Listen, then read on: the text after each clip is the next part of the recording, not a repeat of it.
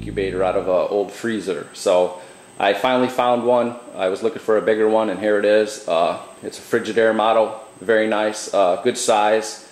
Um, I picked it up from a guy that I know. He, The compressor went bad on it, so uh, here it is. I've already taken out the compressor and I've cleaned it up a little bit. Um, so I'm not going to show you the compressor part that I took out, but I mean it's it's very simple to do. Basically around the back side here, um, the compressor's down in there. I went ahead and took that out already. It's very simple to take out four bolts. You have to cut the lines. Uh, make sure when you cut the lines that uh, nothing comes dripping out all over you. Have a towel ready because sometimes it does drip out a little bit. Take that out, clamp everything off, tape it up a little bit. And uh, this particular model is real nice because it has it has a fan built into the inside of it and it draws air in from the bottom and circulates it around the whole entire incubator. So I don't have to worry about putting uh, putting a, a fan inside this unit because it already has one.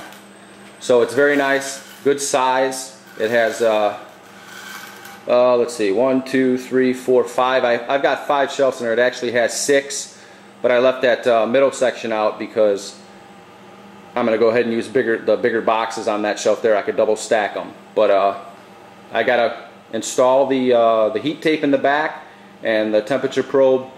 Uh, it's to be very simple. This is a very simple job to do. Basically, like I said, you, you get your old freezer, you wash it up real good, take the compressor out of the bottom of it, and uh, you basically just have to drill a hole. I'm not sure where I'm to drill it at this point, but you drill a hole for access for your uh, power cord for your heat tape and you run it along the back. I, I've ran it along the back side. Some people run it on the sides. I guess you could do it either way. It doesn't really matter.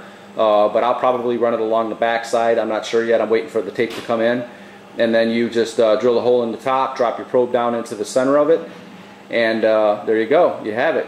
And uh, I'll probably put water bottles in the door to kind of retain some of the heat and uh, I will show you guys when I install the tape. All right, at this point I've drilled a hole in the back of the refrigerator. Two inch was the uh, smallest hole saw I had. I couldn't find my smaller one. So not to worry though, I've got a solution to close it off.